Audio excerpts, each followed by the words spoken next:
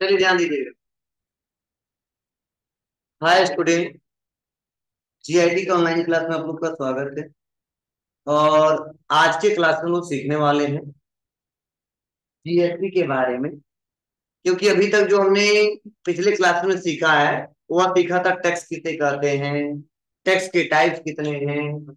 आज हम लोग मेन चर्चा करने वाले हैं वह चर्चा करने वाले हैं जीएसटी तो चलिए देखते हैं इसके बारे में क्या लिखा गया है। वह एक एक करके स्टेप बाय स्टेप पढ़ते और समझते तो देखो मैंने पिछले क्लास में बताया था आपको कि जो जीएसटी है ध्यान देना सभी लोग अब बातें नहीं। जो जीएसटी है या भारत में क्या जी? भारत में एक जुलाई 2017 को लॉन्च किया गया था। क्लियर है? और मैंने बताया था पिछले क्लासेस में, जो जीएसटी है, वह एक प्रकार का इनडायरेक्ट टैक्स है। तो देखो, अगर आपसे कोई पूछता है आपसे कि जीएसटी कब लॉन्च किया गया था तो आपको जवाब देना होगा एक जुलाई दो हज़ार सत्रह को। और यह कौन सा टैक्स है? इनडायरेक्ट टैक्स ये कौन सा टैक्स है बाबू? टैक्स और ये टैक्स किस पे लागू होता है? तो किसी गुड्स पे और किसी सर्विसेज़ पे। मतलब एक ऐसा ये टैक्स है जो किसी गुड्स पे और सर्विस पे लागू होता है। क्लियर है और जब से जीएसटी आया लगभग 95 परसेंट टैक्स वो जीएसटी में इंक्लूड हो गए मतलब सम्मिलित हो गए। अब जीएसटी के आने से फ़ायदा क्या हुआ? और मेन आज का टॉपिक यही है। पहले लोग काम कैसे करते थे? इस तरह हम लोग काम कैसे करते क्या रूल है?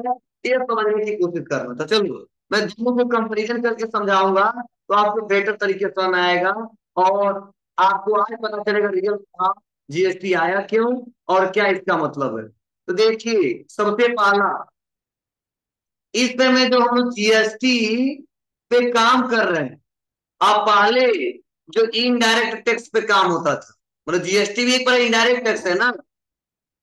तो पहले की जो टैक्स होते थे, जो भी इनडायरेक्ट टैक्स और आज का जो जीएसटी है, इसमें दोनों में फ़र्क है। अंतर क्या है?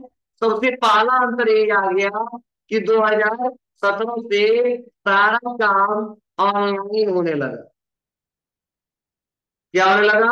ऑनलाइन होने लगा। और इसमें पहले लगभग ज़्यादा से ज़्यादा काम हमारे ऑफलाइन मोड में होते थे। इसमें होते थे जी? ऑफलाइन मोड में होते थे। पहला तो अंतर यही है, जब से जीएसटी लॉन्च हुआ, तब से हर एक काम टैक्स से रिलेटेड ऑनलाइन होने लगे और पहले ऑफलाइन होते थे। क्लियर है? और उसके बाद से अब फ़ायदा क्या हुआ ऑनलाइन से? और पहले ऑफलाइन में क्या ड्रॉबैक थे?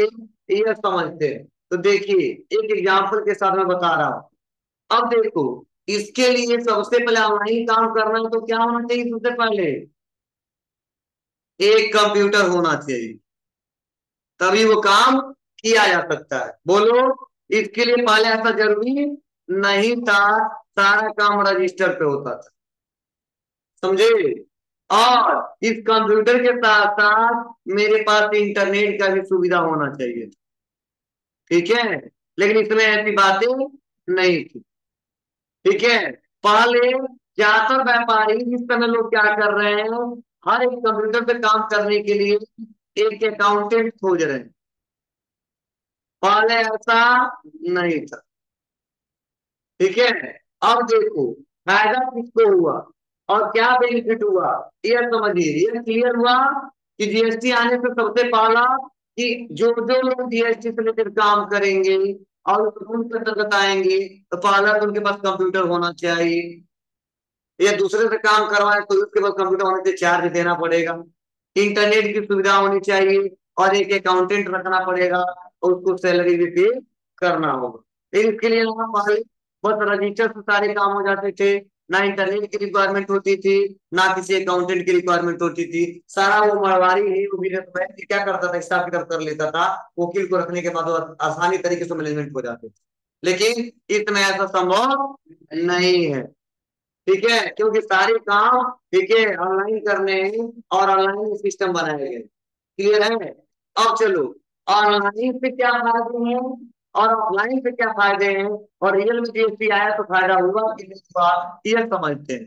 तो चलो, पहले हम ऑफलाइन वाले की चर्चा करते हैं। तब हम एक एक करके पढ़ेंगे। ठीक है? अब देखिए, नीचे आते हैं।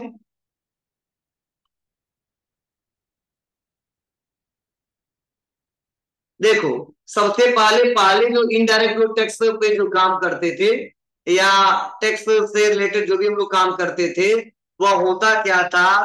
पहले दिक्कत होती थी यह कि सपोज़ मान लीजिए एक बिजनेसमैन है और इन्होंने ठीक है टोटल ध्यान देना टोटल टैक्स कलेक्ट किया है उस फाइनेंशियल ईयर में फाइव थाउज़ेंड कितना? फाइव थाउज़ेंड पाँच हज़ार। और तो काम होता था सब ऑफलाइन में?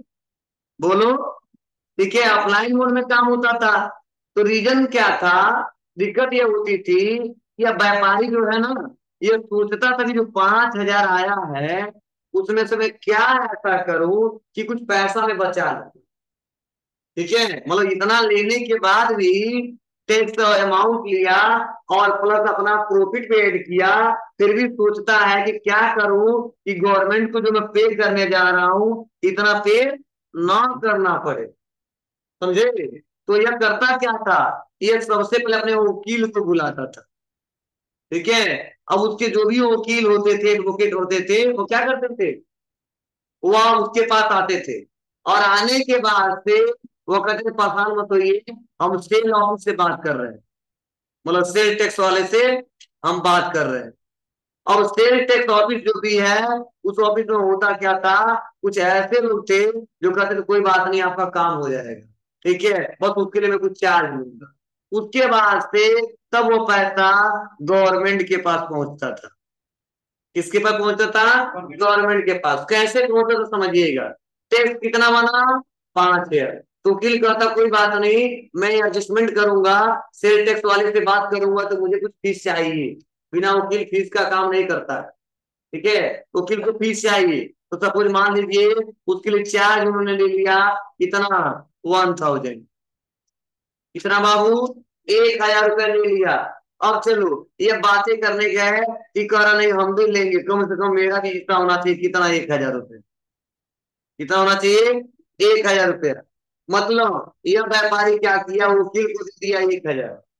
उसके बाद से सेल टैक्स वालों को दे दिया एक हज़ार। और सेल टैक्स वाले हिसाब ऐसा बनाता था कि क्यों यह टैक्स चुरा रहे हैं? क्योंकि इनको भी कुछ फ़ायदा हो जाए इसलिए चुरा रहे हैं और हमको दे रहे हैं। तो सेल टैक्स वाले ऐसा एडजस्टमेंट करते थे, ऐसा हिसाब बनाते थे कि इनका वही टैक्स आ जाता था एक हज़ार रुपया। कितना आ जाता था? एक हज़ार रुपया। बीच में बचा क्या? एक एक, दो, तीन। कितना बच गया? दो हज़ार। ये किसके पास चला जाता था? इस व्यापारी के पास चला जाता था। मतलब क्योंकि क्योंकि सारा रजिस्टर पे काम होते थे। और सेल टैक्स वाले जो पास कर दिया, ये जो टैक्स वाले डिपार्टमेंट पास कर दिया गवर्नमेंट के पास वही जाता था। और गवर्नमेंट यही देखता था और पैसा गवर्नमेंट को बहुत कम जाता था। अब कितना लोग को पकड़ेगा? कहाँ से कहाँ तक? मतलब सारा ऊपर से नीचे सब भ्रष्ट है। ठीक है? सब घुसखोर है। ठीक, सब पैसा लेते ही लेते हैं। किसको किसको पकड़ेगा ठीक है? ऐसा गवर्नमेंट भी नहीं था, सही से स्ट्रिक्टली खुद वही चुराता था। ठीक है? तो आगे क्या होगा? तो बहुत सारी दिक्कतें होती थी, ठीक है? तो मतलब गवर्नमेंट में टैक्स कितना जाता था? मतलब आम जनता, आम कंज्यूमर कितना पे किया था? पाँच हज़ार। अब हम गवर्नमेंट को सोच के ही तो पे किए थे। जब गवर्नमेंट को पैसा देंगे तो हमारे फंड मिलेंगे तो काम होंगे? लेकिन सरकार के पास पाँच हज़ार में एक हज़ार जाता था, चार हज़ार ऐसे लोग खा लेते थे। व्यापारी से लेके वकील से लेके लेके और जो सेल्स डिपार्टमेंट वाले थे। क्यों? क्योंकि सारा काम रजिस्टर में दिखाना होता था। अब जो रजिस्टर पाँच रुपए फेंक दीजिए एक नया रजिस्टर बना के दे दिए बस खत्म। ऐसा ही होता था, क्योंकि ऑनलाइन का रिकॉर्ड नहीं होता था कि किससे कितने का खरीदा और किससे कितने का बेचा। क्लियर है आपको? चलो, यह सबसे बड़ा ड्रॉबैक था। लेकिन अब जब से जीएसटी आया है, बोला गया है कि सारा काम जो होगा, वो ऑनलाइन होगा। क्या होगा बाबू? ऑनलाइन होगा। अगर उस साल में पाँच हज़ार टैक्स दिख रहा है, या उस महीने में दो हज़ार टैक्स दिख रहा है, और दो हज़ार दो पैसा दिख रहा है तो दो हज़ार दो पैसा ही देना पड़ेगा, क्योंकि गवर्नमेंट के ऑनलाइन पोर्टल पे दिखेगा दो हज़ार दो पैसा। तो उतना ही आपके अकाउंट से कटेगा। उतना ही आपको पेमेंट करना होगा। ठीक है? क्यों? क्योंकि गवर्नमेंट के खाते में पता चल रहा है। आपको कैसे पता चलेगा क्योंकि जितना खरीदोगे, बेचोगे सब ऑनलाइन रिपोर्ट गवर्नमेंट माँगता है। और पहले ऐसा नहीं था। मतलब कहोगे तो चलाकी कर ले, न दिखाए तो ध्यान देना। जितने का परचेज किए हो, वो भी दिखाना पड़ेगा। जितने का सेल किए हो, वो भी दिखाना पड़ेगा। तब तो गवर्नमेंट देखेगा कितना दिए हो और कितना लिए हो और कितना मेरे पोर्टल पे दिखा रहा है, वो पैसा हम आपसे ले लेंगे मतलब रिसीव कर लेंगे। और पहले ऐसी बातें नहीं थी, कितने का खरीदे और कितने का बेचे यह मैटर नहीं करता है। बस सेल टैक्स वाले दिखा देते इतना ही टैक्स इन्होंने लिया है, सब एडजस्टमेंट हो जाता है। तो समझे यह दिक्कत थी, लेकिन ऑनलाइन होने से यह सुविधा आ गई और धीरे धीरे पैसों तो हम लोग आज भी उतना ही देते हैं। आज भी उतना ही देते हैं। लेकिन जो टैक्स हम देते थे पाँच हज़ार, जो एक हज़ार, क्या होना था? जो गवर्नमेंट को पहुँचता था, आज लगभग चार हज़ार पहुँच जाता है। अब तो सिर्फ़ एक हज़ार कहाँ इसमें भी चोरी हो जाता है। ठीक है? मतलब ऑनलाइन में भी चोरी हो जाता है। अब कैसे होता है? तो ध्यान से सुनना, समझना। जैसे सपोज़ मान लीजिए, हमने क्या किया? हमने आपको वो सामान खरीदा था सौ रुपए में। कितने में खरीदा था? सौ रुपए में। वो सामान हमने सौ रुपए में खरीदा था। और सौ में खरीद के हमने क्या किया था? ठीक है हमने कच्चा भी बना के दे दिया आपको। ठीक है तो ऐसा तो है नहीं। अब योगी जी के बाद मोदी को जाओगे, तब इतना टैक्स नहीं आपको मिला है कि नहीं मिला है। आपको सामान से मतलब है ना। मैंने एक कपड़ा खरीद लिया। और उसका रेट हमने फाइनल कर दिया। बुलाने जाने के बाद डिस्काउंट छुड़ाने जाने के बाद, हम लेके आ गए। हमें टेंशन नहीं है पहुँच जाए कोई दिक्कत नहीं है। ठीक है? अब ये नहीं कहेंगे मोदी को खाते में गया कि नहीं गया। कुछ व्यापारी झगड़ा तो करेंगे नहीं मुझे आके ठीक है, ऐसा करें तो खरीदे तो तू तो बेच नहीं करे। ठीक है, कहेगा दूसरा दुकान देख लो आप। ठीक है तो होता क्या था? अब यही जैकेट मान लो, वो सौ रुपए में खरीदा। ठीक है और दो सौ में बेचा। तो गवर्नमेंट को दिखाएगा क्या? हम इस जैकेट को एक सौ अस्सी रुपए बेच दो सौ में बेचा तो टैक्स ज़्यादा ले लिया। अरे दो सौ पे दस परसेंट टैक्स बीस रुपये हो जाएगा। बोलो और वही एक सौ अस्सी रुपये बेच दिया। गवर्नमेंट के एक सौ अस्सी रुपये दिखाया है। तो अठारह रुपये हो जाएगा तो वही चुरा लिया। और टैक्स भी चुरा लिया और जो कमाया बीस रुपये वही चुरा लिया मतलब कच्चा बिल बना के पक्का बिल बना के नहीं देंगे तो अपने कंप्यूटर चलाना होगा ना वो चाहेंगे आपके बेटे में दो सौ रुपए और अपने कंप्यूटर में एक सौ अस्सी रुपया तो गवर्नमेंट को टैक्स उतना ही दीजिए। बोले, ये गवर्नमेंट तो नहीं रोक सकता है। कि आप डेढ़ सौ खरीदे, चाहे दो सौ रुपये नहीं बेचे। हमारा मार्केट थोड़ा सा कंपटीशन का है। हम कमे कमाएँगे, हम कम बेचे बोले तो कम बेचे थे बोले, कम बेचे एक सौ अस्सी रुपये चाहिए गवर्नमेंट फिर हम व्यापारी नहीं चलाएँगे पैसा कैसे जाए उसके पास? मतलब व्यापारी क्या है ठीक है? और ऐसा गवर्नमेंट डिसाइड किया नहीं है। जब तो बेचोगे। कोई वही सामान दो सौ बेचेगा कोई दो सौ पचास रुपए बेचता है, कोई दो सौ चालीस बेचता है। गवर्नमेंट इस पे हस्तक्षेप नहीं करता है। रोकता नहीं है। ठीक है? मतलब अगर मान लो कि ठीक है जैसे ऐसा होता है, कई तरह मार्केट में कपड़े की दुकान जाकर देखा सब कपड़ा महँगा मिले और चार दुकान तो हर जगह सस्ते मिले। रीजन क्या है? वो जानता है किसके बाद इसके बाद चले जाएँगे। इसके बाद इसके पास चले जाएँगे। एक ही दुकान है तो वो जानता कहाँ जाएँगे। ठीक है, जाएगा, पढ़ाना जाएगा खर्च होते ज़्यादा होगा आ रहा ना मतलब व्यापारी नहीं है, मैं व्यापार नहीं है कोई। ठीक है, लेकिन बता रहा हूँ, कि काम करते करते इतना अभ्यास हो गया हम लोग को। ठीक है, क्योंकि आते हैं सब लोग। क्योंकि जुगाड़ बताइए कुछ जुगाड़ ठीक है, कैसे होगा? ठीक है, ध्यान दीजिएगा ठीक है और ऐसे कच्चा भी पक्का भी काटते हैं तो क्या किया जाता है? एडजस्टमेंट किया जाता है। ऐसे होते हैं तो हम लोग सामने एडजस्टमेंट करवाते करना पड़ता है। ठीक है वह व्यापारी इफ़ेक्ट ठीक है ना, क्योंकि जानता है गवर्नमेंट के पास भी जाएगा तो वही करेगा ठीक है क्योंकि हमने ऐसा नहीं कहा था कि नहीं बाबू तुमसे दूसरों बेचेंगे गवर्नमेंट को दिखाएँगे एक सौ अस्सी रुपये अब कम मुलाने उलाने के बाद में खरीदे हैं नहीं तुम तू चल चले ठीक है तू व्यापारी चाहता है गवर्नमेंट को कम दे उसके लिए वो ऐसा कम। हम ना तो लोग चला के हमेशा हमेशा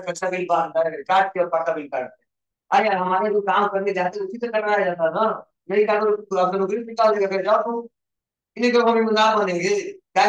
रहे हो ठीक है आपके काम का मतलब काम करो। ठीक है लीगल काम हमसे नहीं करवा रहे हैं। ऐसा नहीं, कोई आएगा ठीक करने के लिए पकड़ ले जाएगा। हम कह देंगे इतने देते थे, और गवर्नमेंट नहीं करेगा। हाँ ये डिग्री काम कर रहे हैं आप। तो वहाँ पर कह, नहीं कर पाएँगे जा रहे हैं तो खोल लेंगे नहीं बोला जाता नहीं बोला जाता ठीक है, नहीं बोले कानूनी तौर पर काम कर रहे कर रहे ठीक है, हमारा मर्ज़ी तो छोड़ दीजिए ठीक है, ध्यान दीजिएगा। तो ऐसे आज भी है, लेकिन आज क्या है? पहले दो हज़ार जाता था, राजा गवर्नमेंट के पास, नहीं पहले एक हज़ार जाता था, चार हज़ार ठीक है, किससे फ़ायदा है? और जीएसटी आने से फ़ायदा है। और क्यों जीएसटी आ जाता तो कोई फ़ायदा नहीं होता। जो तो ऑनलाइन पैटर्न नहीं होता। ऑनलाइन होने से फ़ायदा है। समझे ना? अगर ऑनलाइन नहीं रहता तो गवर्नमेंट फिर तो नहीं देखता। आज भी तो बड़ा लोग हम जानते क्या करते हैं सब बात इस समय और हर एक जगह कैमरा लगा है। ठीक है? तो बाहर जाके दूसरे फ़ोन से करते मैसेज कर दे रहे हो रास्ते मिलिएगा। और वहाँ कैमरा नहीं लगा है। लेकिन वो रास्ते में पैसा लेते हैं तो समझ रहे हो? गवर्नमेंट कहाँ ना पीछे करें हाँ? यार, ठीक है, वहाँ कैमरा है। ठीक है कि मैं लॉकडाउन में देखा है। ठीक है या या लॉकडाउन में मैंने देखा है कि जैसे मान लो, बोला गया है कि एमटीएम का रूल चलेगा। इसका रूल चलेगा? एनटीएम का। एनटीएम एनटीएम का मतलब होता है वन नेशन लिख लेना। One tax one market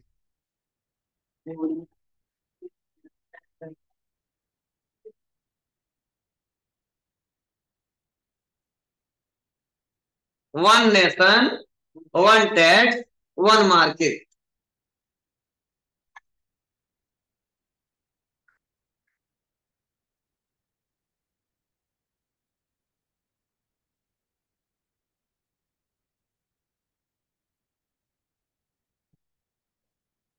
अब देखिए one nation one tax one market का मतलब क्या है? एक राष्ट्र है तो एक ही टैक्स होगा। और एक ही पूरे भारत में मार्केट है। मतलब एक राष्ट्र है तो एक ही टैक्स होगा और भारत में पूरा एक ही मार्केट होगा। अब तो सर क्या मतलब है इसका? एक ही मार्केट का। एक ही मार्केट का मतलब यह है कि आप किसी प्रोडक्ट को खरीद रहे हो तो चाहे वो किसी स्टेट में खरीदो, अगर टैक्स पे अगर टेन परसेंट चार्ज है तो भारत के किसी भी कोने में जाएँगे, उस प्रोडक्ट पे टेन परसेंट ही चार्ज होगा। कितने? तो देखिए एनटीएम में बनाया गया, बताया गया। क्या बताया गया, समझना एक बार और। एनटीएम का रूल कहता है कि बाबू, आप कोई व्यापारी यूपी में है और कोई व्यापारी बिहार में है और सपोज़ मान लीजिए, एक पेन मतलब सपोज़ पेन नहीं एग्ज़ाम्पल देते हैं। सपोज़ अगर मान लीजिए हम कोई गुड सपोज़ कीबोर्ड हमने खरीदा। क्या खरीदा? कीबोर्ड खरीदा।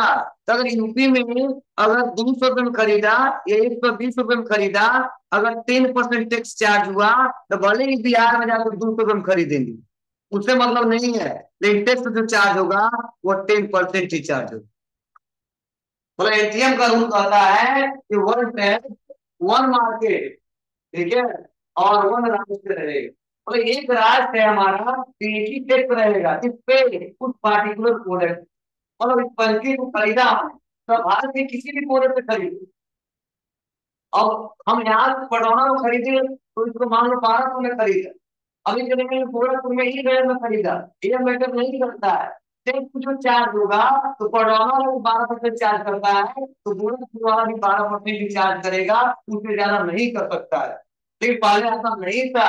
रूल गड़बड़ थे ठीक हर एक स्टेट में अलग अलग प्रोडक्ट पे क्या करते थे? राज्य सरकार अपना अलग अलग टैक्स लगाते थे वही टैक्स हम कहीं इसी प्रोडक्ट इसी फ़ैन पे देते थे कहीं पे बारह परसेंट कहीं देते थे अठारह परसेंट बहुत सारी दिक्कतों का सामना करना पड़ता था, ठीक है? और मान लो जहाँ पे व्यापार ज़्यादा चलता था वो राज्य सरकार घोषणा करवा देती थी जहाँ पे कम चलता था, वहाँ दिक्कतें होती थी टैक्स ज़्यादा होती थी, ठीक है? सारे रूल को खत्म कर दिया गया। और बोला गया जीएसटी में चाहे भारत के किसी भी कोने में कोई भी स्टेट हो, अगर प्रोडक्ट पर दस परसेंट टैक्स लागू हुआ है तो कहीं से खरीदेंगे दस परसेंट टैक्स के साथ खरीदेंगे हाँ वैल्यू फट बढ़ सकता है वही कस्टमर उसी प्रोडक्ट को दो सौ दे सकता है और उसी प्रोडक्ट को कोई तीन सौ दे सकता है यह मैटर नहीं करता है।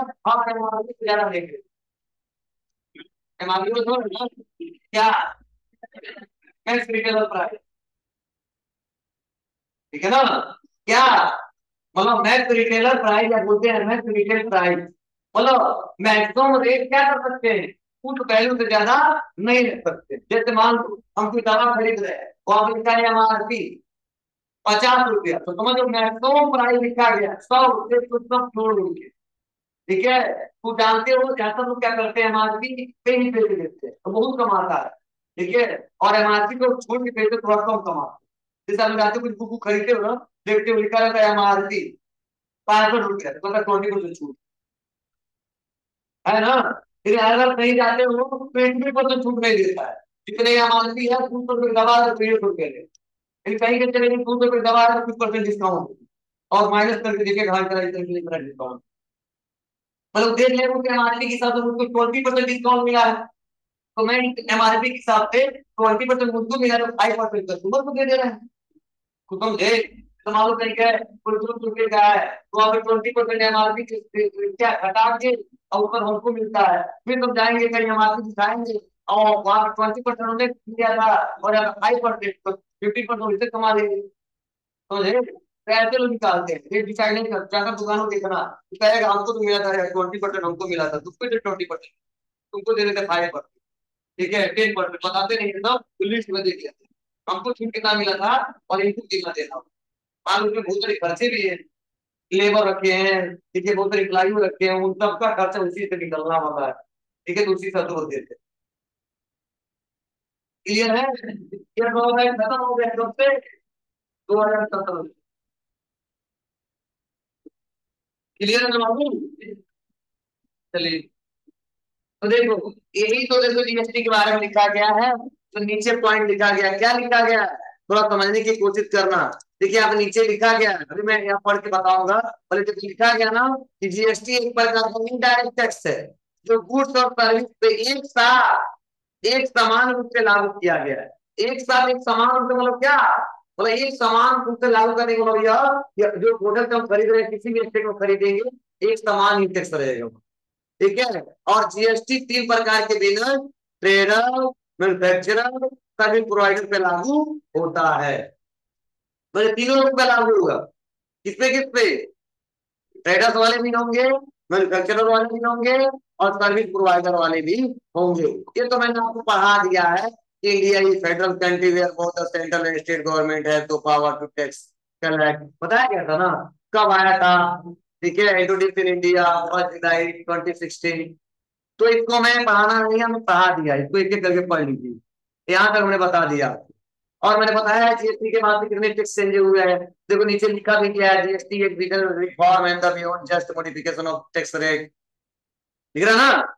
तो मैंने आपको बताया है तो ऐसे में एक ही करके हमने समझाया है जिससे बेटर तरीके से आपको समझ में आ जाए। क्लियर है? तो यहाँ आप लोग को यह पढ़ना है आप लोग। जब तक पढ़ोगे नहीं, तब तक आपको बेटर तरीके से समझ में आएगा नहीं। और सारे काम क्या हो रहे हैं? डिजिटली देखो लिंक बताया भी जाना देखो।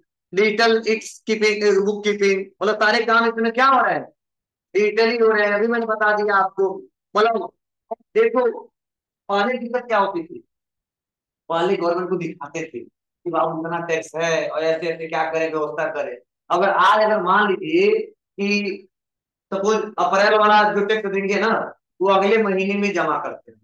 और अगले महीने वाला उसके अगले महीने। जैसे अप्रैल वाला मई मई वाला जून में तो गवर्नमेंट कहता है कि आप अप्रैल वाला ठीक है अगले महीने में दस या पंद्रह तारीख तक जमा कर एक रूल बना देते तो होता क्या है? कई व्यापारी अगर अपना मैनेजमेंट सही से नहीं किए हैं तो चुप जाते हैं। मतलब चुप जाने का मतलब पंद्रह तारीख जो डेट था, उससे ज़्यादा हो जाता है। तो गवर्नमेंट ने ऐसा रूल बनाया है, कोई गलती से भी जमा नहीं करता टाइम से तो हर महीने फाइन देना पड़ता मतलब एक दिन का फाइन देना अगर मान लो एक महीना लेट हो गए तो एक दिन का पचास, पंद्रह सौ तो फाइन केवल फाइन देना मतलब गवर्नमेंट कहता है टाइमली आपको देना पड़ेगा। चलो, अगर मान लो आप ये चार महीना नहीं जमा किए तो गवर्नमेंट सोचेगा क्या बात है जमा नहीं कर रहा है। आ रहा है जमा नहीं कर रहा है। तो पहले क्या करेंगे नोटिस भिजवा अब नोटिस भी सुनवाई नहीं होगा, तब देखे पता नहीं है कि नहीं नोटिस दिया तो क्या है। फिर भी क्यों नहीं जमा कर रहा है तो जाएगा, ठीक है तो पकड़े जाएँगे, उनका दुकान भी बंद हो जाएगा, ठीक है, बहुत सारा और जुर्माना देना पड़ेगा फाइन के रूप में। ठीक है अगर थोड़ा भी अगर कोई व्यापारी लेट होता है मतलब मेरा डेट है, दस तारीख को जमा करना, अगर ग्यारह को जमा करना है तो तुम्हारा दो सौ रुपया तो दो सौ पचास रुपये जमा। अगर बारह को जमा करेंगे तो तीन सौ रुपये जमा करना। तेरह को जमा करेंगे तो साढ़े तीन सौ रुपये जमा करना। लेट से भी लोग जमा करना। फाइन भी गवर्नमेंट चार्ज कर रहे ठीक है? तो जब से आया ऑनलाइन तो उससे बहुत सारे प्लेटफॉर्म सही हो गए और इसमें देखते हो ना कि गवर्नमेंट के पास ज़्यादा से ज़्यादा क्या है टैक्स कलेक्ट हो रहा है। तो इसीलिए ज़्यादा से ज़्यादा इसमें काम हो रहा है। ठीक है? रीजन यही है कि अगर मान लो सौ रुपए कमाते हैं डेली, ठीक है? पहले बीस रुपए कमाते थे, दोनों फ़र्क है ना? हम मैक्सिमम खा लेंगे पचास रुपये पचास रुपये बचा लेंगे और आसानी तरीके से काम कर ले जाए वो इससे पहले था, पहले बीस रुपए आता था। उसमें चुरा लेते थे लोग तो काम कम होता था। अब नब्बे रुपए आ रहा है उसमें कुछ चुराएँगे तो भी ज़्यादा से ज़्यादा काम करेंगे ठीक है बीस रुपए चुरा लिया हुआ तो सत्तर रुपए का काम करेगा। तो जीरा फ़ायदा होगा? ठीक है? अगर मान लो इतने हम खाऊ है, कि सौ कमाते हैं तो खा तो बात ही अलग ठीक है? तो ज़ाहिर सी बात है गवर्नमेंट ऐसा करने नहीं देगा इसके लिए रूल बना है कि अगर सौ रुपया है कुछ चुरा सकते सब कुछ चुरा नहीं सकते हाँ हमारा पैसा है, हम कमा रहे हैं सौ रुपये तुम तो खा सकते हैं तो वही फ़र्ज़ में दब जाएँगे, आगे चल के दिक्कत हो जाएगी। ठीक है? जितना कमाया रखे हैं, वो भी खत्म हो जाएगा। इसीलिए कहा जाता है ज़्यादा उतना फ़ायदा है ठीक है? सुने हो दिक्कत क्या है? हाँ आगे दिक्कत हो जाए ठीक है? लेकिन अगर सोच नहीं कमाए ज़्यादा और खाए भी ज़्यादा, इतना ज़्यादा कमाओ कि सारे खर्चे उनकी में मतलब तो सोच रहे हो, खर्चा नहीं करना चाहते तो इनकम बढ़ाना पड़ेगा इनकम उतना ही है बचाना चाहते हैं। खर्चा कम करो। लेकिन क्या पता चाहते हो? खर्चा कम करे। सारे खर्चे तो नहीं करेंगे। इनकम बढ़ाए, तब मज़ा आएगा। लाइफ जानते हो तुम अपने आप अपने आप में क्या कर रहे हो? कंप्रोमाइज कर रहे हो। आपको इतना ही बनाना। ठीक है? आज क्या करना है? एक्सपेंस कर रहे हो। अगर ज़्यादा कमा रहे हो तो समझ जाओ हाँ संतुष्टि से जी रहे होता है। वो तो लोग क्या करते हैं? कंप्रोमाइज करते हैं भाव इतना ही कमाते इतना ही खाएँगे। ठीक है? और ये कहता हूँ फूल फूल पे आपको कमाना पड़ेगा। तब होगा। ठीक है? तो चलिए, कल हम पढ़ेंगे। बता दिया। पहले ग्रुप बहुत सी दिक्कतें थे कल मैं आपको पढ़ाऊँगा। यहाँ पे मॉडल मॉडल से मार्क लगा